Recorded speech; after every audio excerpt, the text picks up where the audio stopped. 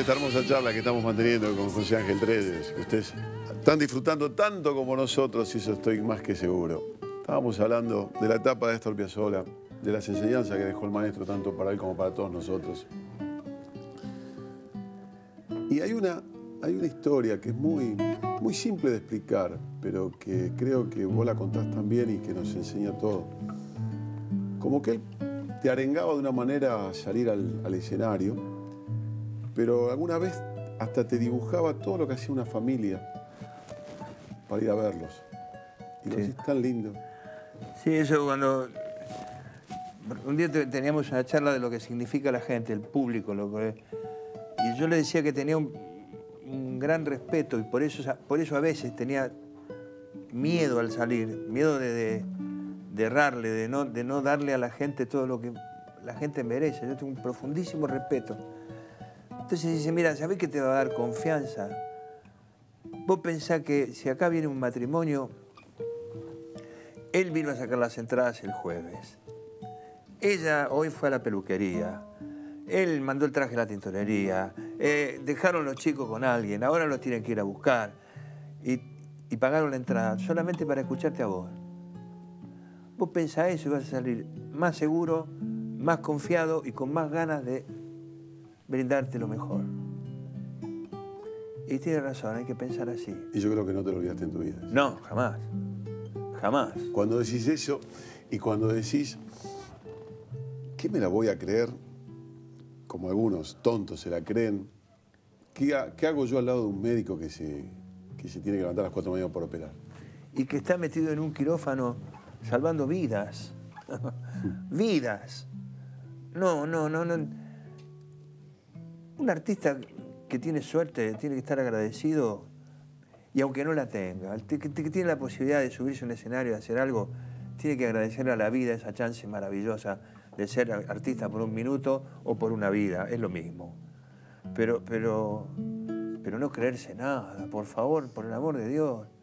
Hay gente que a la hora que yo duermo la siesta está quemándose las pestañas a ver si genéticamente puede solucionar un problema hereditario. Por favor, hay gente que es realmente importante en el mundo. Los médicos, los científicos, los tipos que hacen puentes para que pasemos de un- por arriba un río. No sé.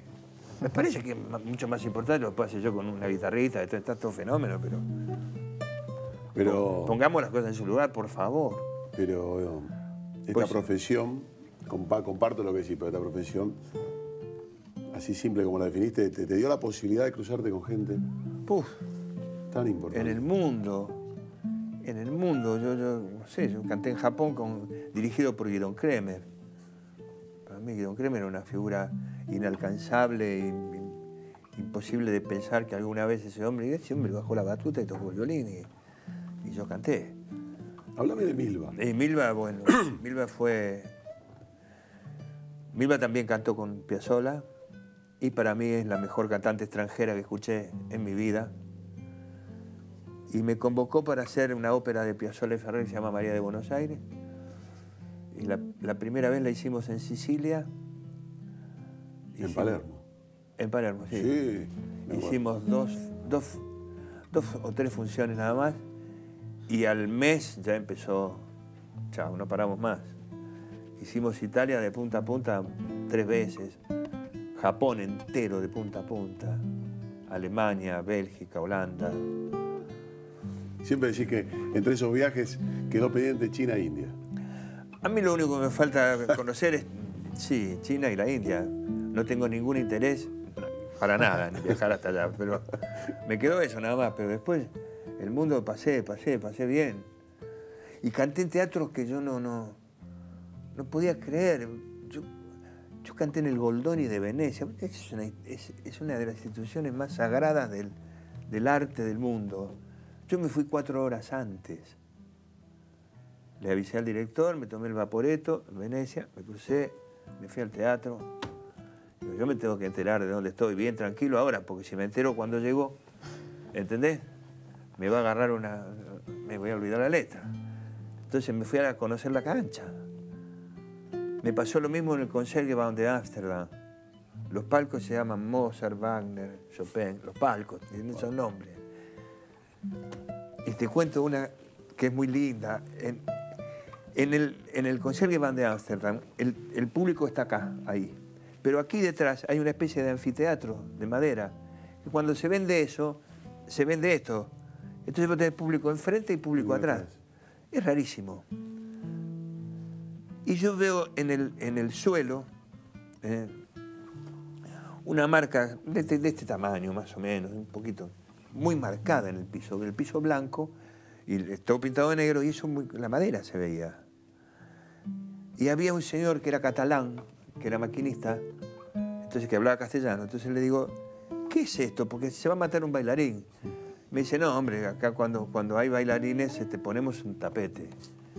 Le digo, ¿pero esto qué es? Y acá se paran todos los, los, los tenores cuando vienen a hacer conciertos como solistas. Le digo, como, acá viene Pavarotti, canta, se para ahí, todos se paran ahí porque está el micrófono aéreo Ah, que cae, que cae ahí. ah. Todo, y Plácido también, le digo, y Carreras también. Entonces el tipo me dice, acá se paró Caruso, de Caruso para acá, todos se pararon ahí. Entonces, ah, entonces me paré ahí y no me moví. Y la, la, la puesta tenía movimiento, tenía que... Además, me, me habían dicho, cantá para la gente que está Está atrás. atrás. Ah, yo me clavé ahí, y me moví para atrás, pero ahí adentro, paradito, y yo me paro acá. Y Milva, cuando terminó el primer acto, me llama y dice, Pepe, cosa, ¿qué es esto? ¿Qué, ¿Cómo está parado ahí? Entonces le conté, y me dijo, no, tú soy un pazzo, eso no puede ser. Le digo, no, ahora, ahora laburo bien. Pero me pasé el primer acto paradito donde se No paraban. te habían dicho todo. Claro, ¿cómo me la voy a perder? No, pero tenés historia.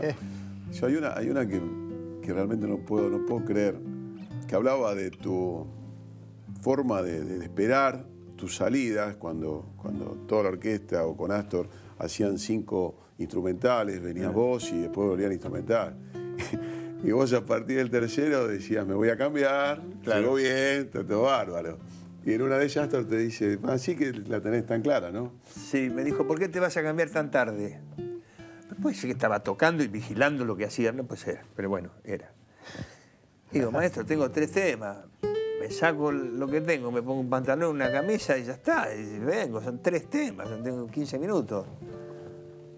Y pero si te encontrás con un imprevisto, ¿pero qué imprevisto me voy a encontrar? Si está la ropa colgada en su lugar, la señora la planchó, está, está todo bien.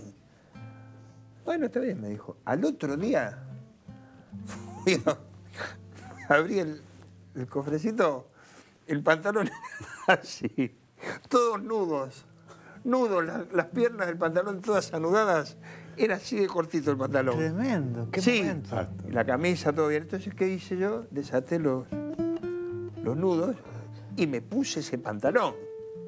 Y esa camisa, que también estaba en el suelo tirada, los zapatos, y salí. Producía Blackie. Blackie. Que Blackie era un sargento de, de- De la pulcritud. maravilloso, era una genia de la producción y la pulcritud. Y yo aparecí en el escenario con ese. Tenía dos bandoneones, un bandoneón en cada gamba. Y subo y me dice Piazzolla, qué elegante que se lo ve. Le digo, ¿le gusta maestro? Es un modelito nuevo. Chao. Y canté, y bajé. Y cuando bajé me agarró Blackie. Esas son las bromas de tu maestro, le digo. No sé. No sé. no. No dejemos para más adelante a, a Horacio Ferrer. Y Horacio fue, para mí fue mi poeta, fue... Él y Astor son la, la, la riqueza más grande que yo tengo, que es el repertorio. Son- Son más de 30 años ovacionado por cantar eso. Por cantar La bicicleta blanca, Balada para un loco, Chiquilín de Bachín, por cantar Balada para mi muerte, por cantar El Bocha, por ¿Cuál es la historia del Bocha? El Bocha y Raúl eran dos amigos de Uruguayos. Montevideo, uruguayos, Sí, ahora sí. que se criaron juntos y trabajaban en el mismo banco, una vida muy, muy casi de hermanos. Y salían del trabajo y se iban a tomar una garapita a la 18 de julio todos los días. Y el Bocha murió. Y la leyenda montevideana cuenta que eh, Raúl iba a la tumba del Bocha a hablar con él. No, Y en base a esa historia, Ferrer escribió El Bocha, que es una de las cosas más tremendas que he tenido la fortuna de cantar, ¿no? Era, una- era impresionante, porque además Horacio no escribía. Horacio primero la elaboraba y cuando estaba terminada acá la pasaba al papel. No escribía como yo, que yo escri- escribo una frase, después fijo si queda bien o la corrijo. No, no, él todo en la cabeza. Y cuando estaba toda lista en la cabeza, la escribía. Vamos a seguir recorriendo esto. Director, nos vamos un ratito, volvemos enseguida.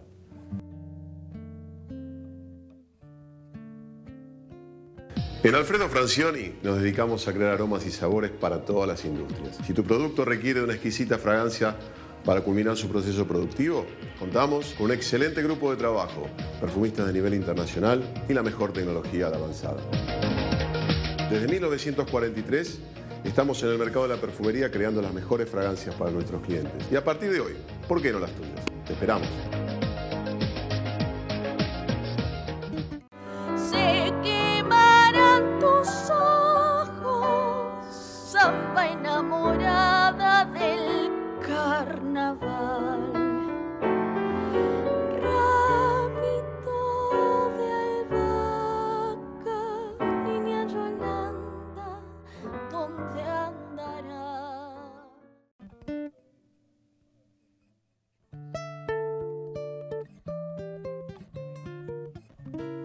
Continuamos coincidir. Qué lindo coincidir con el PP3. Qué lindas esas historias, qué linda, qué linda historia de vida, qué linda historia de coincidencias. En algún momento teníamos que llegar a una canción que, que nos marca a todos los que tuvimos un viejo laburante, un viejo que, que se esforzó para que nosotros podamos ser alguien en la vida. Tuve la inmensa dicha que una vez lo pude ver al Pepe de cerca y preguntarle cómo había hecho para escribir esa obra de arte. Y también me obliga a decirle que a la altura de él también hay una canción del Tano Piero, como la de mi viejo, pero cada uno en su estilo. Pero creo que nos llenan el corazón ambas de dos maneras totalmente distintas. Yo necesito hablar de- del amigo que hoy necesito. Y quiero que me cuente lo que alguna vez contaste en público, cómo fue que nació esa canción. Esa canción fue, en realidad fue una catarsis, porque ¿Ya había fallecido el viejo? sí, sí. Ah, bien, eso no lo sabía. Y la muerte de mi viejo yo no la podía asumir, no había manera de asumirla, no, no. Sufría muchísimo la ausencia. Fue una ausencia muy, muy, muy grande, muy profunda, muy. Y un día estábamos en la casa de un amigo del alma, de Carlito Silvero, y habíamos comprado, no sé si daban un partido por televisión, no sé qué era. Eh, habíamos comprado factura para el mate, qué sé yo. Y se iban a ver la tele y, y me dice, vamos, flaco. Le digo, no, espera, espera, déjame, déjame acá. Y había un lápiz, entonces en, la, en el papel de, la, de donde estaba envuelta la factura, manchado de factura, empecé a escribir el tema para mi papá. Y empecé y terminé. No, no, no. Nada, y mientras lo escribía lo cantaba, pero no tocaba la guitarra, lo- le ponía una melodía en la cabeza, no lo- ni siquiera lo tarareaba. Y cuando lo terminé le puse la melodía cantada, sin, sin la guitarra. Y salió así. Y me ayudó muchísimo, me ayudó muchísimo a, Libera. así, no a terminar de llorar, nunca terminé de llorar la ausencia de mi viejo, pero sí a, a- a soltar y a, rearmarme y a, y ¿Y era su vida pintar paredes que otros lucían? Sí, él pintaba, era brocha gorda, mataraña, como decía él. Era pintor de brocha gorda, sí. Pero era un tipo que tenía escrita, tenía un ensayo escrito sobre cómo iba a basar el, el nazismo, la teoría del superhombre en Nietzsche. Así, fundador de bibliotecas. Hay una biblioteca en Liniers que se llama Cultura y Renovación, que- de la que mi viejo es socio fundador, No. que fue el primer lugar donde canté en público en mi vida. ¿Tenés este, de alguna manera la, la- la dicha, la suerte de que esa canción la lleva don Enrique Espinosa? Ah, sí. Ese cantorazo inmenso. El polaco Goyeneche me la grabó. Los indios Tacunao.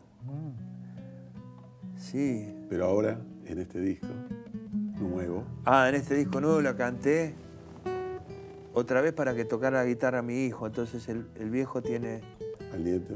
al nieto y al hijo Federico, cantándole. tu hijo Federico que es de otro palo, ¿no? Sí, rockero.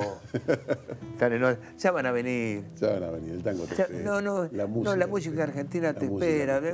Vienen, ya van a tocar alguna zambita. Y, tranquilo, tranquilo, tranquilo. Deja que. Quiero, quiero escucharte, quiero escucharte en eso, porque sos un constante decidor de, de- de- de- de la juventud y la posibilidad de escuchar nuestras canciones, nuestro folclore. ¿Qué diferencia teníamos nosotros con eso? Nosotros fuimos la última generación que tuvo información. Información. información, programas de televisión de dos horas de, folclore, de música nacional, no hay más. Es más, hubo un ejecutivo de un canal de televisión que dijo, mientras yo maneje esto, ni un gaucho ni un tanguero. Un idiota, así le va en la vida, no importa, déjalo. Pero este, de pasar de lo que teníamos a eso, dejó sin información a un montón de, de- de- de gente, a generaciones completas que, que vos le preguntás quién es Yupanqui y te dicen que es un equipo de fútbol. Pero vuelven, pero llegan, porque, porque la gran virtud que tiene la música nacional y popular, la música nacional de cualquier lugar del mundo, Sí, sí. es que en algún momento te va a agarrar del fondo del alma y te va a decir, mira que yo estoy acá, ¿eh? Mira que, mira que yo estoy acá, te está faltando algo a vos. Y te entra. Y como vos decís, el mundo entero adora nuestra canción, Claro, nuestra música. claro. Te presentás en teatros de 4.000, 5.000 personas, aplaudiendo de pie, Sí. ¿no? Yo- a mí me pasó una vez que Milva me dijo, cantá en un, en un concierto que hicimos juntos, me dijo, ¿por qué no cantás un tango con la guitarra vos solo? Yo no, no toco la guitarra, yo, yo escucho a él tocar la guitarra, me agarra una envidia que... y sabía tocar sur. Su- Entonces canto sur. Sur es un tango que no tiene final, ¿viste? Que no es un tango que va amor, no. Termina sur. Y fue una ovación tan grande, tan grande, en Roma. Eh, Era en Italia, no era en, en Avellaneda, era en Roma. en ro- Sur. Y lo canté una ovación. Entonces, yo le digo a los chicos, vayan al mundo con lo que el mundo no tiene, que es lo que me dijo mi viejo a mí. El mundo compra lo que no tiene. Yo no puedo ir a tocar jazz a New Orleans. Pero van a decir, qué rico, qué lindo muchacho. Pasa un negro por la calle tocando y me, me- me arruinó. El mundo compra lo que no tiene. Yo eh, con un contrabajista catalán que estaba tocando un Kremen en Japón, me dijo, ¿qué otra cosa que Piazzolla? Entonces le canté folclore, le canté una chacarera trunca. Pum, tam, poré, tam, poré, tam, porá, pe, porá. Y dice, eh, eh, 6 por 8, le digo, sí, 6 por 8, pero sobra uno. Le digo, mira, yo no te, no te puedo decir cómo es. Andaña tuya, una ciudad de Santiago del Estero, te la van a explicar.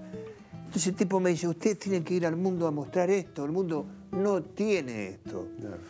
Dice, a nosotros lo último rítmico que tuvimos fue Mozart, me dice el tipo. Alemán, alemán era, que había tocado en Cataluña y hablaba algo de, castellano. Ustedes tienen que tocar eso, tienen que ir al mundo con eso. Yo a los pibes les digo, ¿qué vas a tocar rock a dónde? A Memphis. Pará, tocar rock acá te gusta, fenómeno, dale para adelante. Ahora, si trascendés, si pasás la frontera, lleva lo tuyo. Porque lo otro ya está, ya lo tienen. Lo que no tienen es una chacarera que te vuele la cabeza, ni una, una zambota, ¿entendés? No tienen un tangazo terrible, no lo tienen. Y lo escuchan y vuelcan, claro. ¿Cómo decís? Un cuchi le Guillamón. Un Cuchi, Manuel J. Castilla, Dávalo, Falú, Yupanqui. Yupanqui. Te lo viste varias veces al maestro Yupanqui, ¿no? ¿Te lo cruzaste? Sí, tuve la fortuna una vez en, en Radio del Mundo de quedarme tres horas con él hablando. Va, él hablaba. Yo anotaba, yo. Un tipo impresionante. Y de un gran humor, además. De un humor maravilloso. Mira, Yupanqui, esta es famosa. Había una señora sentada con una nena a UPA y la nena lloraba como un marrano. El viejo paró de cantar y la miró. Y la señora dijo, ay, maestro, perdone, no tenía con quién dejarla. Se lo hubiera dejado con usted, señora. Se hubieran quedado las dos. y- Claro. Y no me la hubiera dejado con usted. Pero qué, qué placer escucharlo. No, esos tipos, Qué placer. esos tipos son... Yo hablaba respecto de, de- de- del hombre de llanura, del hombre de la montaña, porque él de la montaña hablaba bajito y contundente Eh. por el eco, porque él tenía su historia con el eco. Claro. Y el de la llanura gritábamos y estábamos, ¿y a dónde vamos? Mirá, hay una milonga de Yupanqui. Es tan gráficamente maravillosa. Dice, cuando yo vuelva a mi pueblo, volveré de madrugada. Atrás quedarán caminos como sogas embarradas. ¿Viste la tierra cuando pasa el, El- carro? Que, que- ¿Cómo se le ocurrió que esa huella eran sogas embarradas? Mira vos. Sí, sí, ¿Entendés? sí, Esos tipos están iluminados por la poesía. O, cuando le habla la guitarra. No, no, no, la no. guitarra de que viene del árbol, que, que ese árbol alguna vez fue nido. ¿eh? Y cómo hay, que, cómo hay que acariciar. Es impresionante ese hombre. Pepe, te has cruzado con gente, pero sigamos, sigamos porque me queda el negro Juárez. Ah, Negro Juárez. Para Homero. mí, el más grande artista que vi sobre un escenario.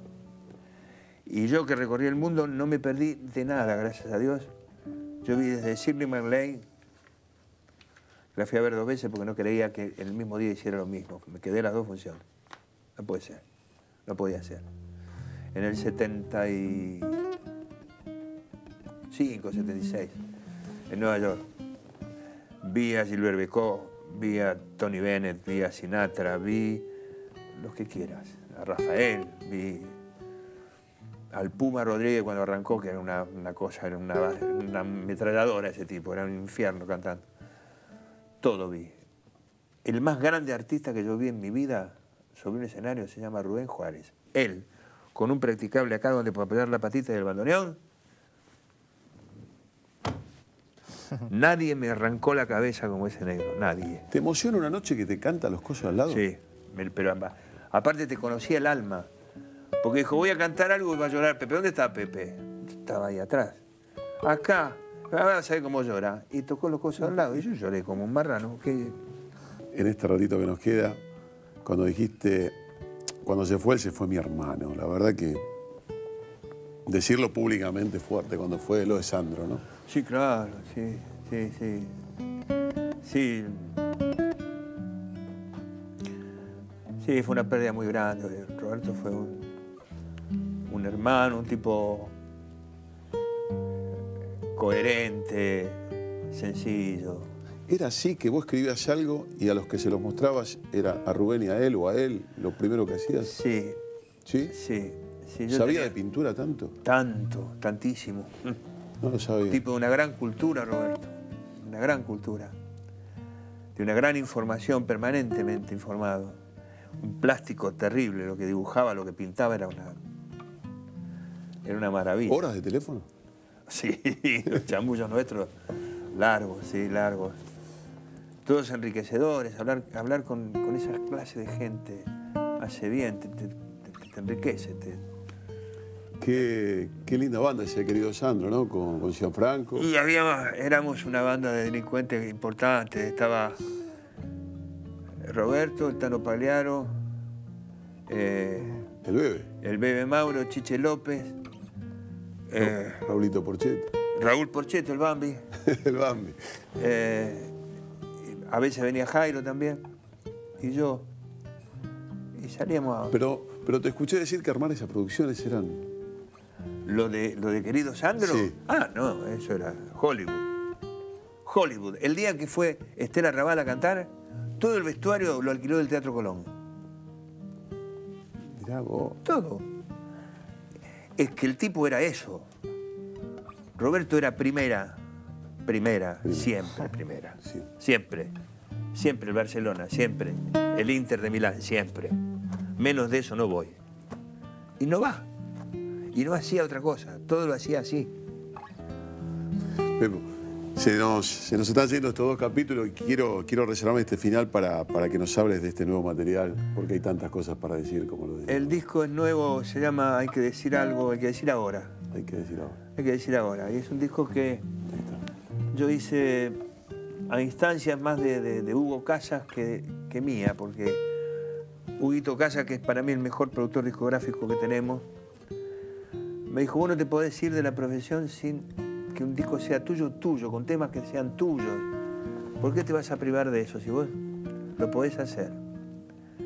Esto fue hace más de dos años, así que empecé, empecé a escribir, a trabajar, a- me decidió, él me ayudó a decidirme, corregí mucho y dejé lo mejor que me, que- que me quedó, y ahí está. Pero es un disco que quiero mucho porque está hecho con, con mucho cariño. Para, hay un tema para mi mujer que se llama Compañera. Hay, hay un tema para el tiempo, que es un señor que me tiene bastante preocupado por lo que me queda. Y, y hay un tema que se llama Vale la pena, que es una declaración de principios, que, que es como vale la pena vivir la vida para mí.